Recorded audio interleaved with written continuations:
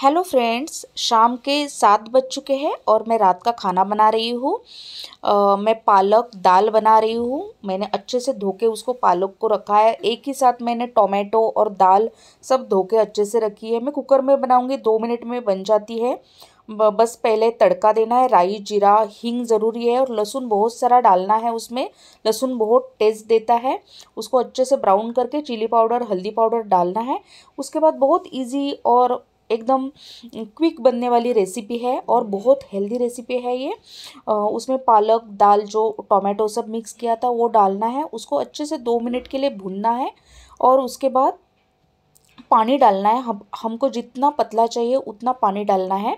मुझे थोड़ा गाढ़ा चाहिए था तो मैंने थोड़ा पानी डाला है।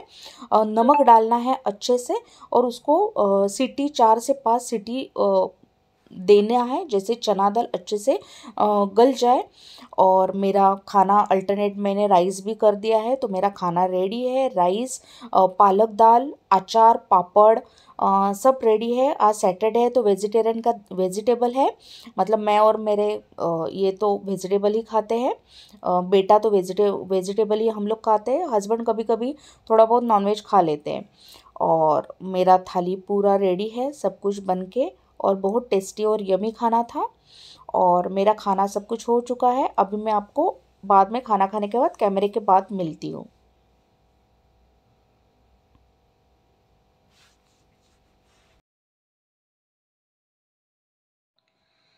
हेलो फ्रेंड्स अभी रात के साढ़े नौ बजे हैं और हम लोग बिग बॉस देख रहे हैं।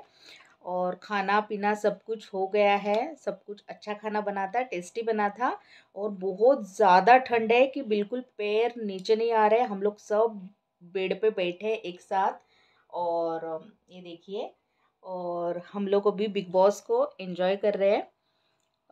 एक मिनट में दिखाती हूँ। प्लीज़ फ्रेंड्स ये मेरा व्लॉग आप मेरे चैनल को सब्सक्राइब कीजिए, बेल आइकन को प्ले, प्रेस कीजिए, ये ब्लॉग्स मेरे शेयर कीजिए और please, thank you. Bye bye, good night.